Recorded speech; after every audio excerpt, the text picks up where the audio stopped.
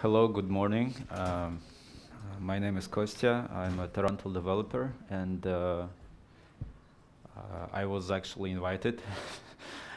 Uh, thanks uh, for giving this talk, and uh, it's going to be about our six-year experience, six-year journey with Lua up to now.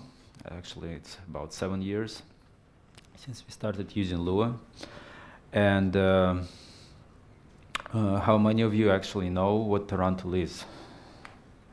So there are a few, but uh, for, for the rest, I, I'm going to just uh, give a brief uh, introduction. It's, uh, it's a database in the first place. So it's an in-memory database, and uh, it's using grid technology for, for distributed storage. So the idea is that you have many, many nodes which are running in a cluster, and every node both shares data and uh, uh, executes some business logic within the data. So these are nodes uh, communicating, speaking to each other, handling requests. It, it, it's possibly a layered application, so there are, for example, a front layer, which is only business logic, and you scale it independently from the storage layer, which is both business logic and the storage. So the typical usage of such a cluster, such a grid, is that you run it uh, 24 by 7 by 365. So you run it all the time and it's highly loaded all the time. So uh, it's a request response application, typical, for example, for Go, uh, now Go applications, Go uh, servers also typically request response applications. And uh, the important thing that this program needs to run and not crash, and it needs to run Lua all the time and not crash.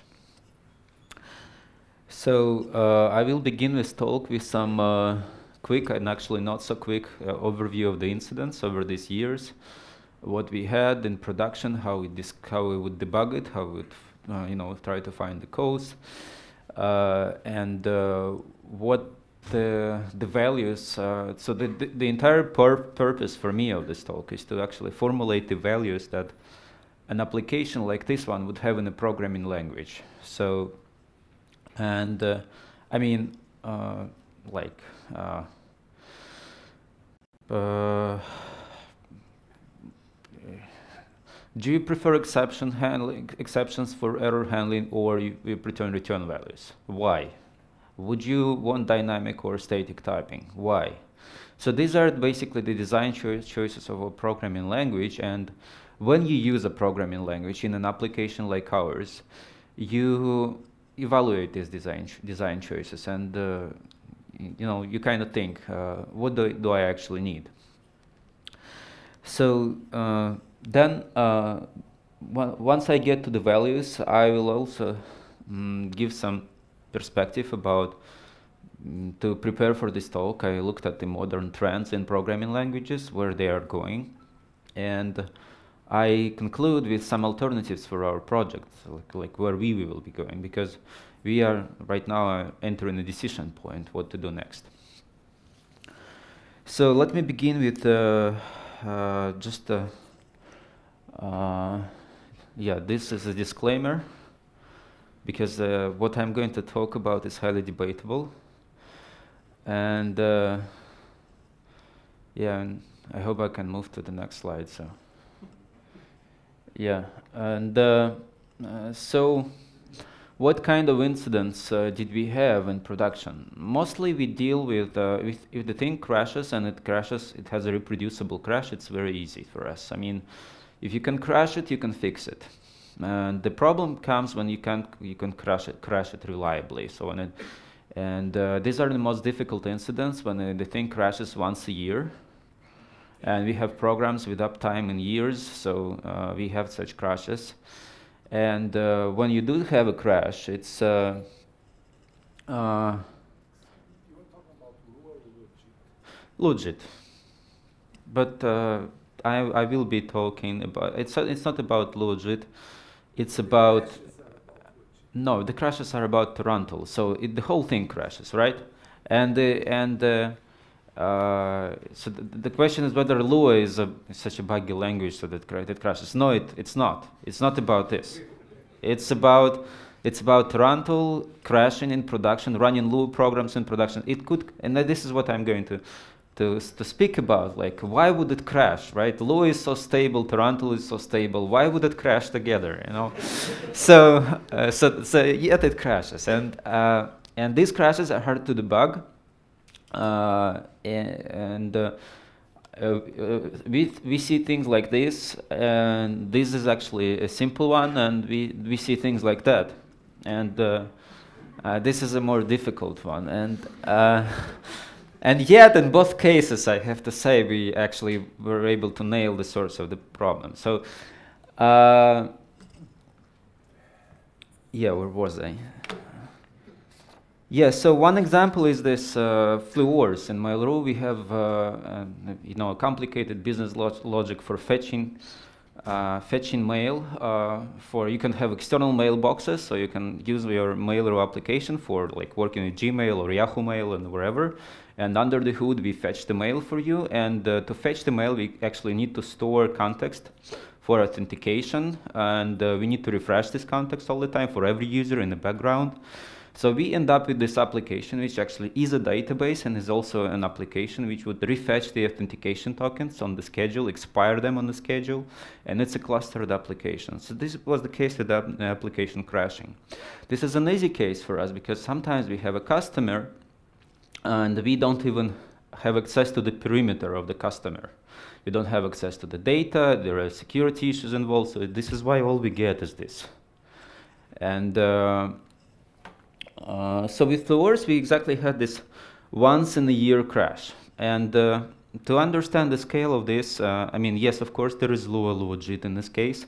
There is Tarantool, uh, which is a, you know, a threaded application written in C and C++. It can crash. And uh, there, there is FFI, foreign function interface. There is there are Lua C modules, Lua extensions for for C. And uh, so, and when you start looking at all of this, I, I mean, uh, if you remember Java, for example, Java claim what was that, I mean, it's a safe language. It's a safe language because it's, uh, you know, there is a bytecode level safety, there is a uh, memory safety because, you, you know, there are clear separation of memory in Java and so on. So why would one use uh, technology like Lua and uh, build everything into a process, build everything together, avoid any borderlines between things and, and expect things not to crash? So my claim is that most of the crashes are not coming from the things that, for example, Java is addressing. And if you look at, at the operating system kernel, like Linux, like FreeBSD, it's all written in C and C++, it's all extensible. If you look at the Perl, PHP, other language implementations, they are all written in C, and they're all extensible. So C is probably one of the most reliable, reliable languages as it is, and we need to look at deeper, we need to look at the causes of the crashes. And uh, if the cause is, uh, so the cause can be from the language itself, uh, which is very rare. It could be from an extension, which is more frequent, but it is easy to reproduce usually. So an extension, is, and if it is uh, like by extension, I mean in, in this case, in case of Lua, is the Lua C API extension. And uh, it could be coming from, uh, in this case, in, in, in, things that we had, due to um, sloppiness in the in the language implementation, which was LuaJIT in our case. So my claim is that most of the crashes that, that uh, you deal with, you can uh, isolate and fix.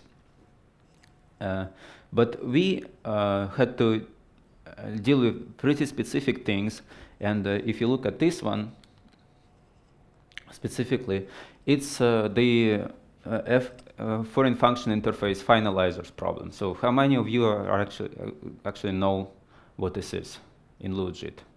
So few, very few. Um, uh, LuaJIT has uh, some hard barriers for, for limits, for memory limits, and for certain things in which it just can't cope. It just, uh, you know, throws its hands in the air and says, I can't continue anymore. And uh, uh, there is a limit on how many uh, foreign function objects you can create in the language, in the runtime. So when this limit is reached, uh, it just, uh, you know, essentially it can it can be as easy as that, it can as simple as that, it can be more complicated. And uh, uh, this limit actually can be fixed, and uh, I'm going to next slides talk about how it can be fixed. And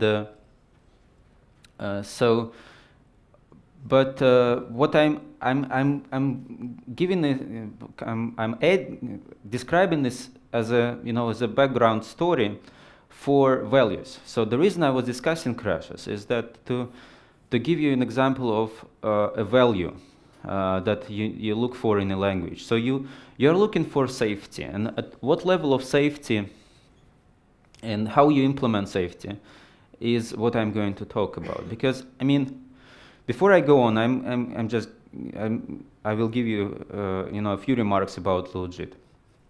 So I think the reason that FFI uh, finalizer, fin finalizers table is, uh, you know, problem is not fixed in LuaJIT is a, is a more broad scope when uh, you actually look at the language and uh, you look about the purpose of the language. I think Lua was not really thought for uh, systems like that, for systems which work with a lot of memory, which uh, work with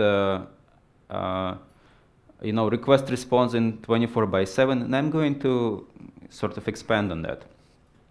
And uh, for systems which are highly, you know, extendable, so uh, which are which have a lot of uh, coroutines, uh, C API modules, layered application when you have Lua enter in C, then enter in Lua again, and enter in C again, and so on. So you have layers of, of calls.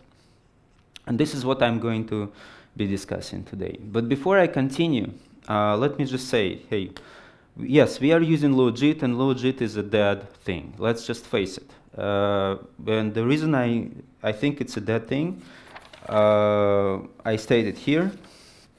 And the main, main reason is uh, the developer community. So this is another, once again, I'm discussing this to discuss it as a value, right? So a language is uh, alive when it has a vibrant developers community. And I don't mean users, I mean developers. This is a, you know, a different uh, topic for me. Developers are those who are contributing patches, who are contributing to the, to the, to the language. So, and uh, in case of LuaJIT, uh, it's merely an implementation. So developer community for it is uh, uh, basically people contributing code to the source repository. And uh, for it to be vibrant, uh, you, the maintainers, the maintainer in this case, needs to work with the community. So needs to give feedback, needs to nurture, needs to coach. And we don't see any of that. So at this point, I believe LuaJIT is that primarily because of lack of this. And uh, once you have this for years, you lose trust, and trust is not something you can regain easily. So uh, what specifically I'm talking about? So not just to not be, you know, uh, regarded as a person who is just uh, putting blame on someone without reason. So um, of course, Lua 5.2 and 5.3 compatibility. Uh, there are things like Unicode, like uh, garbage collection, new garbage collection, which are neglected for years. There are patches which are uh, rejected uh, without coaching and nurturing the contributor to actually come up with the better, better implementation. So this all, uh, to me, means that we need to do something uh, about about uh, uh, about LuaJIT future, and I will talk about it in the end. but for now, I just let me say that uh, there are some great ideas how LuaJIT can be improved. Uh, in, in beginning from uh, alleviating the barriers that it has and uh, uh Lua compatibility and uh, JIT extensions and uh, and so on and so forth. There are some great ideas in Lua JIT and it, it shouldn't be just you know discarded uh, without uh, you know it should be, the best the best thing to do with it is just to pick it pick it up and uh, continue developing it further. So, but uh, for us, it's not only about LuaJIT. The reason I'm giving this talk is at this conference, because Lua-JIT we agreed uh, in the beginning is a different language, uh, so uh, is, uh, uh, is, is, a, is a broader scope. So a language is two things, a specification, language specification, and language implementation. And uh, Lua, Puerto, PUC-Rio Lua, is, is exactly the source for us, is like the beam of light, you know, uh, of, uh, of, uh, of what's in a good language, you know. And here I want to discuss one thing about uh, Lua, and this is a, a quotation from the manual. Uh, it's about uh, Lua error handling. So I think I'm going to uh, make a bold claim here is that there are deficiencies uh, in the way Lua API is designed with regard to error handling. And this is just one case when, well, we are a community, right? So I'm, I'm giving my feedback and uh, it's all a question about, uh, you know, moving on, moving on, taking the feedback and moving on. So uh, uh what's, what, what a good error handling should be like? Uh, so I claim that these are the three major traits of good error handling API. It should be safe. There's, uh, if you can ignore the error, it's not good. So if you return one and then you ignore the return, this is not, good, no, not, not a good API. It should be very difficult to ignore it. It should be ergonomic, meaning that uh, it's, uh, it's not polluting the code base. If you have all the checks, if you have nested try-catch blocks, and you have, you know, so many nesting levels just because of your error handling or case switches. This is also not good. So in this case, in these both cases, Lua API that is chosen for the C API, I mean long jump, set jump based uh, error handling, is very good. It's very hard to ignore long jump, really. and uh, it's, uh, it's very ergonomic. So typically you don't need to pay a lot of attention to uh, checking the errors, you need to, you, everything is inside pcall. But uh, the third property uh, of the good API is composability. By composability, I mean that when you can put different paradigms and styles for error handling together. To give you an example, C and C++ uh, error handling techniques are composable. They, you can put them together. So you can take a C API, wrap it with try-catch, and uh, you're done. You can, uh, you can not try-catch, but with throw. I'm sorry, with, with raising exceptions, and you're done. You have a C++ API. You can take a C++ API, wrap it with try-catch, and export as external C API. Uh, but with the long jump strategy, composability is actually at risk. So I'm not even mentioning C++ because if you long jump from through your you know stack frame which has a destructor in it, you're you're screwed. That's that's out of question. Even though it would be really handy to have it, but you can't have it. So, but let's just consider C. Uh, we took a look at uh, C modules at luarocks.org, and we discovered that uh, uh, most of them ignore potential uh, errors from, from you know, API failure. So typical module would allocate some resources like open a file, allocate memory, before putting it on a Lua stack. So it, it sits on a C stack. So at this point, it's entirely unsafe to, to long jump. Before putting it into a C stack, you would uh, uh, call some C API like check stack and stuff and expect this is gonna work, or, or call Lua new table and stuff. This expect this is gonna work. So this, of course, doesn't work if you have 24 by 7, uh, you know, clustered applications because it's it has to fail sometime. And uh, since we are not just a company which is running this in-house, for example, IP on Web is a company which is running most of the software it, it has in-house. We are a company who has, as I said, uh, who is selling support for Tarantool, who is uh, ha having external application. When we are involved with three or four uh, sub uh, sub companies dealing with the exploitation for us, with you know one company is running the physical servers, another is running the system administration, another is actually the, the integrator, which is giving us, and we are doing all the work. So it's, it becomes extremely difficult for us to run in this environment, and values which we have are, are different uh, in these environments. So this is one example, and uh, uh, it could be fixed. I mean, we just need some sort of P call for CAPI, I guess, which would wrap long jump into a into a return code or, or, somehow make it interoperable for us. And uh, before I, so this is, so the scope I want to set for this talk is, is like I started from sort of uh, speaking about Tarantool crashes, and I said, that, hey, these are LuaJIT crashes, and then I say, the scope of this for us is, for me, is to look at the future for a language inside the database.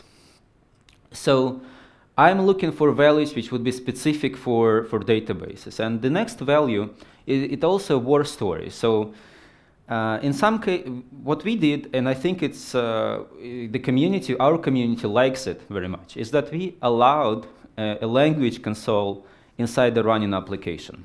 Uh, we just provide a Lua console in Tarantool. It can be a highly loaded application, and the system administrator can expect the internals of the application just by connecting into it.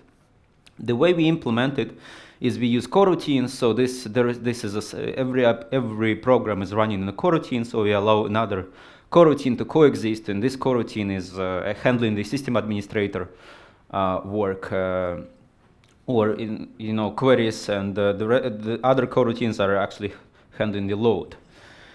So uh, this is a case when of a major outage, uh, and I mean, uh, why would be a, such a simple statement? Uh, this function is simply reporting a size of a, a size of a, of a table in, in a database. So a developer who, uh, which we, whom we do not control simply had a local variable which wasn't properly local, which was named s. So when system the system administrator just started to inspect the thing, he overrode the local variable and uh, the entire application went you know crazy because of that. So that's a very easy easy way to break things. Uh, of course, uh, you could say, hey, why didn't you why didn't you run this through some type of checker? Why didn't you use strict, which you can, can have in Lua? Why didn't you do this or that? Why didn't you allow the system administrator to do that? And this is the whole point. In some cases, you can't control these things. In some, you just work with the external user, with the community, and it's all about the amount of effort you have to put into this to make to make things happen. And uh, like educate your community, educate the DBAs that are going to work with it. So for us, uh, uh, the uh, uh, default scope of a Lua variable is a safety issue. Uh, another safety issue, and I'm going to talk about safety here again and again, is a type safety. And uh, uh, I'm not, I'm a Lua-JIT user, uh, but I, I've been following, uh, of course, Lua developments for, for the number type and for, you know, for functions, for changes in the functions API for all the 5.2 and 5.3 changes, basically. So before giving this talk, I came to, a, you know, uh, I fired up a Lua interpreter and tried a few tests. These are the results. So uh, while this might make sense to some, I mean, and uh, just give, let me give you some scope. Uh, I mentioned in the beginning that I was uh, uh, involved with an interpreter implementation myself once. So the case when I was involved was MySQL, when I was uh, doing the SQL PSM uh, uh, interpreter for SQL stored procedures. How many of you are actually know SQL? Well, and those who know, uh, what is the, what happens to a SQL cursor when you update, open a cursor and then update a table the cursor is pointing at? What happens? Who, who knows the answer? No, no one, right? So, so you claim you know SQL. Okay, uh, but whatever. So the thing is, a SQL was uh, was uh, a a a language which descended from Ada. And ADA was the language which the government of the United States uh, created to actually uh, make programs reliable. So SQL is, is one of the most reliable languages by its design. It has strong typing, it has uh, uh, mm, static typing, so it has exceptions, uh, it has modules, it is so it's actually very verbose in its in, and very safe. But the trouble with SQL is that it's hell to use. You know, it's it's complicated. It's uh, the syntax is uh, is too verbose. Uh, the the language itself lacks um, lots of paradigms, and I'm not talking about the expressional SQL. I'm talking about SQL PSM here, the stored procedure SQL, if you understand. So it lacks the expressiveness which we find in the modern languages. So when I uh, as, a as a database developer, I'm looking for a language which would be as powerful as a language like Lua. With, uh, and I'm going to talk later about the values that of Lua, which, uh, which I highly respect. And uh, that, but still would be as safe for, uh, for as safe for, for the purposes that uh, we have here as perhaps SQL. So one of the um, one of the key issues with safety is type safety. And this includes underflow, overflow, division by zero, and things like that. You don't need to have, uh, my opinion is that you don't need to have uh, static typing to ensure type safety. Dynamic typing is a very nice thing, and plus dynamic and static types are going to uh, can coexist. I'm, I will I will speak about this in in a moment. So uh, the key thing, in since we moved towards, uh, Lua, moved towards uh, having uh, discriminated number type. So the, I think the future will uh, be so that uh, there will be more discriminators. And by discrimination, I mean the underlying implementation can be either float or actually double or integer. So and you, you, you change it on the fly, which is completely fine. And thanks for actually adding Lua is integer. I'm going to talk about this again. Uh, so uh, so you can uh, you provided the the uh, the user with a way to query the underlying structure of the type, which is also very good. But it would be also nice to have safety as we go along. So like not a number, underflow, overflow is just another type of discrimination to me. And in the future, if you look at like Facebook hack language, they have been struggling with PHP and safety for a long time and they had to add uh, things which is called uh, type qualifiers in hack. So if you declare a variable without a type qualifier, you it's a it's a dynamically typed variable, but you can taint its type or reduce its uh, sort of dynamism by by giving a type qualifier. So that's a possibility at least. But for, for, for, for now, it would be, as we are database, imagine we are using Lua for any kind of, uh, you know, stored procedure. We want to make sure that when the, the, the data which comes back to us is not, uh, is not, uh, there is no data loss on the way, on the, on the, on, on the round trip. So the stored procedure which is using, uh, say, you know, I'm not even talking money, but any kind of integer numbers. So when it, the, the, it comes back to us, the, there is no loss. Or if there is a loss, we can, we can, we can control it and uh, constrain it.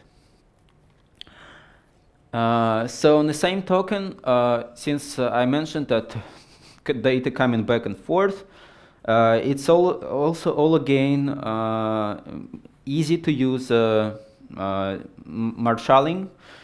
Uh, and I have to say that uh, most of my uh, troubles with Lua marshalling are, are, at this point uh, sort of gone. It's uh, mm, thanks to Javier for his uh, helpful support on the on the mailing list. we we don't have trouble any trouble with the array versus table marshalling at this point. We found a workaround, even though it would it would be nice to still have an explicit discrimination, and I know it's hard to do, but it's still possible to do efficiently. And uh, uh, so, so that we, have, we can have a safe round trip from uh, the language and to the language and back. And uh, so another war story which I would like to continue with is a garbage collection. And in this case, I, I love the efforts to create a generational garbage collection in Lua 5.2 and, and on. And uh, um, so the case we had in production is, is we have literally 1 billion records uh, spread around uh, 144 servers which we needed to update. and uh, so we uh, to update these records, we have another 500 uh, dictionary records, which, we should be using used for update. So basically, it was a screwed up import. Imagine you are importing your entire organization. This organization is actually quite large. Uh, it, since it had 1 billion records. Um, as, uh, and uh, during the import, you screw things up. So you need to quickly think, fix things in a, in a running cluster. And uh, since we, we have a, a, you know, a grid architecture, we can easily provide people with these things. We are not, it's not, it doesn't have to be a client-server application. We just, what we do is that we create a Lua program, which we push into the grid, it executes, and voila, the data is uh, up to date. So we decided the best strategy for, for this uh, grid uh, script to run is to actually cache the 500,000 uh, with 500,000 dictionary records on every node so that uh, every node could be updated quickly. And we actually achieved, uh, solved the problem. We were able to migrate these records in a matter of you know, tens of minutes. So imagine the RPS on these nodes during the, during the migration. But uh, our first implementation was just a thousand RPS on the entire cluster. Or no, no, on a single node, I'm sorry, not on the entire cluster. And uh, of course, this was thanks to the lack of generational garbage collection in LuaJIT, and uh, the reason it was so slow is that we had, uh, well, it took some, some guessing to understand what's going on, but uh, basically every update would generate a lot of garbage. So it, I mean, you had to update a JSON dictionary which had, you know, lots of level of nestedness, and you would convert it to a Lua table first. It would be a lot of garbage to collect its, this table. Plus, you had a lot of sort of uh, Lua variables, which was which is this 500,000 records already in the in the garbage collector. So when we fix that, when we store these 500,000 records in a Tarantool table, we actually were able to achieve uh, throughput, uh, you know, you know, maybe 20 or 30 fold of this. So thanks for the generational garbage collection in Lua 5.2. Uh, I think uh, it's an important step forward for, for, the, for the applications of our kind. And here I just want to uh, again, uh, since we started to discuss garbage collection, uh, I mean, uh, ADA, for example, doesn't have garbage collection. SQL PSM doesn't have garbage collection. You, uh, mm, do you really need a garbage collection in an application like that? And, mm, and I think yes. So uh, the you just need to solve some of the challenges of, of, of this of this very difficult problem, and uh, you you need to share the values of garbage that uh, that that we have. So and uh, uh when you look at the sort of design trade-offs in a garbage collection, these are the trade-offs. So you want uh, you begin with saying, uh, hey, I want the lowest heap overhead possible. I want to avoid extra stuff that I store on heap just to support GC. Then you uh, start evaluating the program throughput and garbage collection throughput with your garbage collection strategy. And this means uh, how much overhead garbage collection actually poses on the program and stuff. Then you become concerned with pose time, frequency, and distribution. And distributions is the key actually here. So distribution is the, uh, is the most difficult thing to achieve in our case pose distribution because you may have, uh, you know, in this request response style, uh, uh, uh you know, uh, grid computing, you may have complicated tasks coexisting with small tasks. And complicated tasks generate a lot of garbage. If they generate a lot of garbage, they influence the, you know, the spikes in garbage collection and they become influencing the latency of small tasks. So it's a very, you know, challenging thing to, to have uh, even latency distribution in a, in a, you know, in such kind of environment. And we, of course, never uh, always advise our users to avoid uh, running, you know, heavy tasks alongside with the short tasks. We say, hey, you have a replication cluster, set it up side by side. You have the same data there, and you can run analytics there. But still, it's a, it's a, it's an issue. So, uh, so with all this you know, complexity, why would you want garbage collection at all? And the reason, I believe, uh, we uh, need to have, you know, database applications, real-time database applications, and garbage collection, is that, uh, I mean, is the dynamism of, uh, of the programming language that you get together with it. So you can't have a, an easy to use, a flexible programming language without garbage collection. And I think it's a bigger value uh, for, for, you know, for the next generational databases than, uh, than safety here. So we need, we, we need garbage collection, but we need it to be safe. Uh, I mentioned that uh, I mentioned that uh, um, application is not only you know distributed, but typically in every node you have a bunch of coroutines coexisting running together. So I wanted to say a few words about this as well, because uh, if you look at the modern languages, like I will give give a survey of the languages I, I analyzed, all of them nowadays are having coroutines. Even C has extensions for you know coroutines. Even every new language has coroutines. So coroutines is just a commodity at this point. But when you uh, mm, when you start looking at the implementation, you find that uh, most languages, they simply add the feature, but they don't uh, look deeper. So they don't make the feature work as you know, the first-class citizen in the language. And by first-class citizen, I mean this. I mean debugging, I mean introspection. Uh, cost, of course, is often taken into account, and I mean interoperability. So for us, uh, as an example, uh, we have our own coroutine runtime, which, we, which works together with LuaJIT, and it worked fine with Lua 2.0. And in Lua 2. Lua, with LuaJIT 2.0, with LuaJIT 2.1, we uh, sent my Mike broke it. We sent him a patch. He rejected it. So we are now running a patched LuaJIT uh, just to support our own coroutines. So uh, when uh, so why do we need these patches?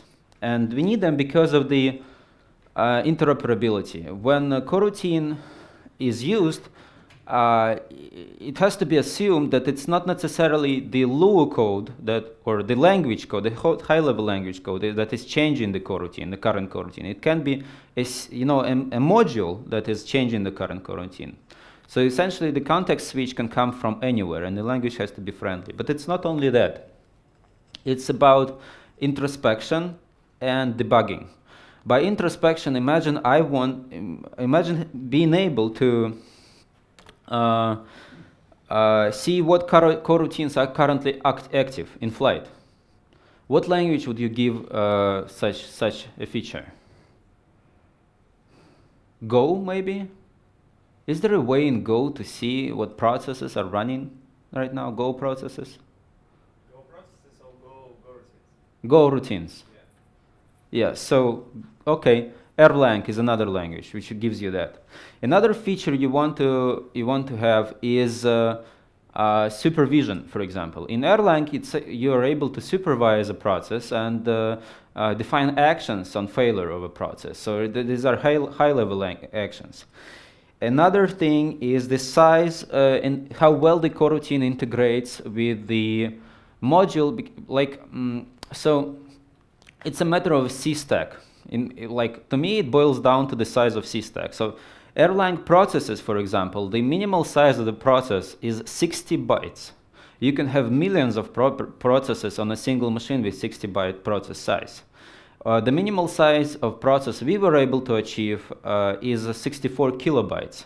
You know, it's a you know a thousand, a thousand times more, and uh, to actually to really um, to really be able to put to have lots and lots of I mean the interpreted language doesn't have to have doesn't uh, have to have um, a lot of context associated with the coroutine. But when you start using C modules inside the coroutine, you already need the stack. So that becomes uh, the, the major player. And uh, I'm thinking about some kind of integration between the language runtime and the uh, extension in the, in the C API, and so that you can make sure your extensions uh, are safe, but yet they are also efficient. And um, another issue with coroutines, which is also often, you know, miss, uh, missed, is uh, again error handling. And uh, uh the things uh, about error handling that I wanted to raise is like, would would it be possible to pass an error from one coroutine to another? what are the what is the language support for it? So and uh, uh, Lua, uh, when it when it comes to Lua, it uh, the API itself, and I believe like we can discuss a lot, like how LuaJIT is not this or not that, but we have to say that LuaJIT is what it is, and many features that we have in LuaJIT are thanks to what was in the language at the time LuaJIT was created. So it's a it's an idea flow. It's an idea flow from the founders of the language to implementers, and uh, uh, so the values that are uh, great in Lua already today, and uh, we had a talk today about functions being the first class objects as a consequence, and the reason and these are the values we share. This is why I list them here. As a consequences, we are able to do hot code reload, package management, uh, code shipping in the grid. These are the very important values to us. So we don't want to run the compiler every time we want to, to change the code in the grid. This is why we are using an interpreted language. Coroutines, threading model. For example, many people ask us, why don't you use Go? I mean, this is not uh, any fault of ours, you know, that uh, people ask us this. It's just uh, people keep asking us, why don't you use JavaScript, for example? And I think by the end of this talk, it should be clear why. I mean, they don't provide some of the values either. So there is no perfect language, you know. But uh, Go threading model is, uh, is that uh, is different from Lua. Uh, Lua threading model, single threaded. when you have them, the, when threads are outside the language, works much better with our paradigms when uh, the language runtime, the concurrent garbage collector, and everything like that, it's, it's much harder to control uh, in, in case of you know, concurrent languages such as Go. So uh, I believe the threading model is right. So single threaded is, uh, is the way to go. Uh, and uh, speaking about garbage collector, we again are talking about perhaps not concurrent, but single-threaded garbage collector, which is easy to manage. Uh, excellent interoperability with C. And the uh, value which I always mention about Lua is less is more. So Lua has very few concepts and they are absolutely great, this, those concepts that it has.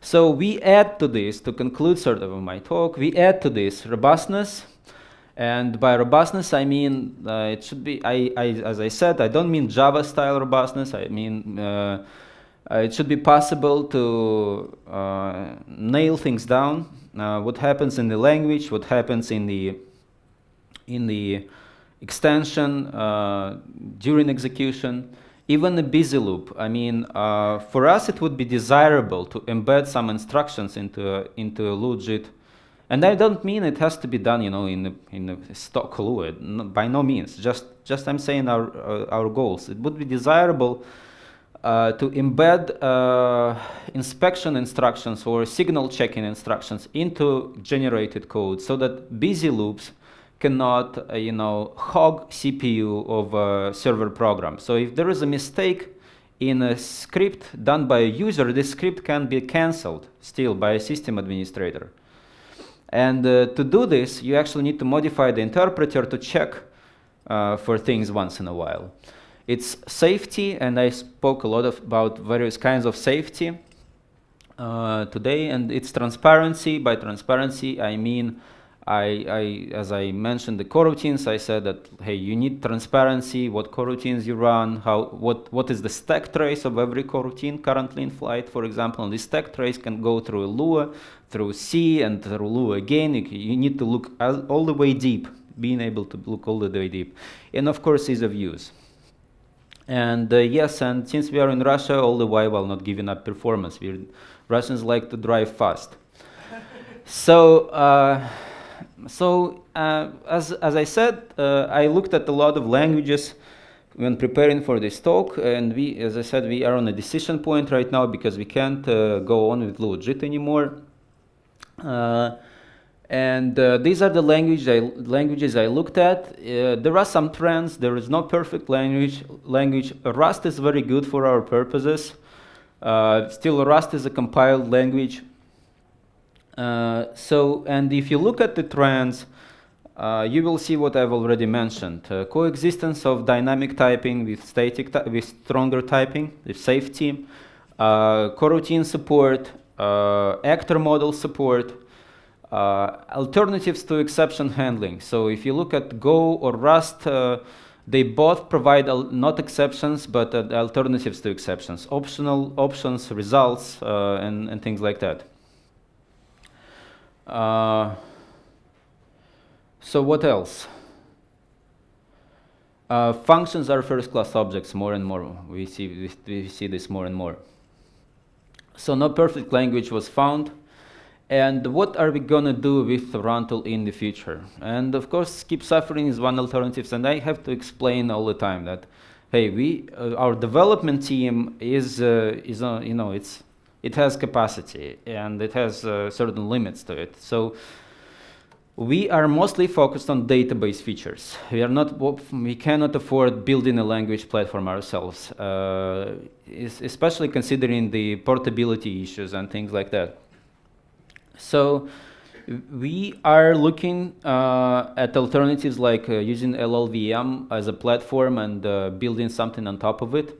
And uh, we have to take into account the values of our community, like compatibility. We don't want to screw them. And uh, we are also looking at uh, forking LuaJIT and making it work for us. So these are the alternatives uh, on the plate right now. And uh, as I said, it, it uh, the whole thing a lot depends on on the Lua community working together and us sharing the good values with the uh, with the core of the language and uh, with the broader community. So if we are able to achieve what we need in uh, a, you know long term with Lua language specification, then we are good in a good shape long term. If we are not able to achieve this, then even uh, like saying, "Hey, let's fork LuaJIT" doesn't make a lot of sense to us because you know uh, we need a, we need we need to satisfy uh, our our values in the first place. So thanks for uh, listening. Uh, these are the questions. I anticipated some questions, uh, like why don't you use JavaScript? And I want to. Uh, why don't you use JavaScript? And uh, so Ruby, PHP, or your favorite language. Uh, these things um, you might have, and I, so I, these questions I don't recommend asking, so to speak. if you have anything else.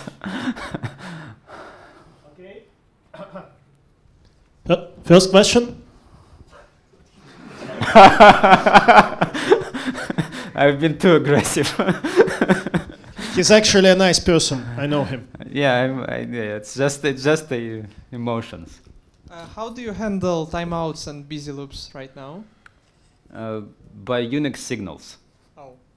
But we are a database. We can afford this. So we have a persistent state, and we have a redundant persistent state, so you can kill a node. But if your entire cluster is dead, then it's a trouble, yes. Uh, what platforms do you have to support now? MIPS, ARM, Intel. And, and uh, FreeBSD, uh, NetBSD, Linux, uh, that's what we support. Um, Mac OS X.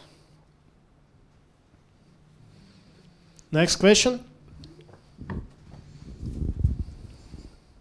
Uh, I saw in the conclusion list you have mentioned the LLVM. So, what is about LLVM in few words today?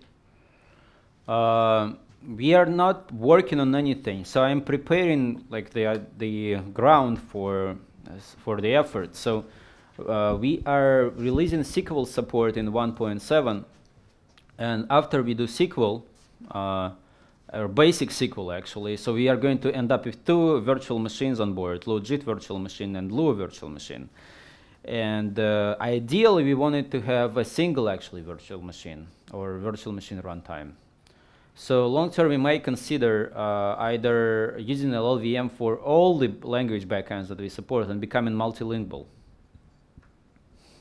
That's that's just basically the a possibility. Another possibility is that we can uh, use uh, and extend uh, a LuaJIT bytecode with the SQL specific instructions, like fetch from a cursor, like uh, you know, query query value of a table and things like this.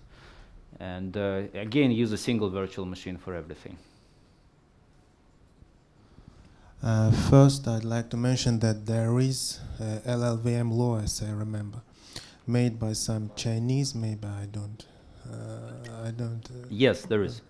There are there, there is Ravi. There are there are there are people who are trying to use Lua and LLVM together. Indeed.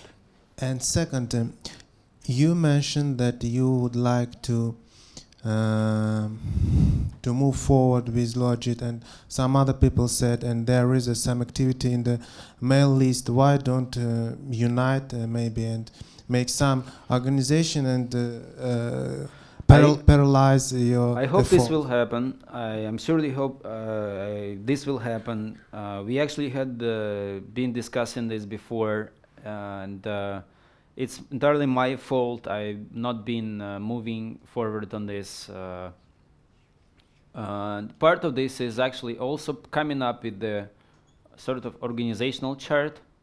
So it's not that easy. It's it's not about creating a GitHub, uh, you know, repository and saying, "Hey, guys, come in here."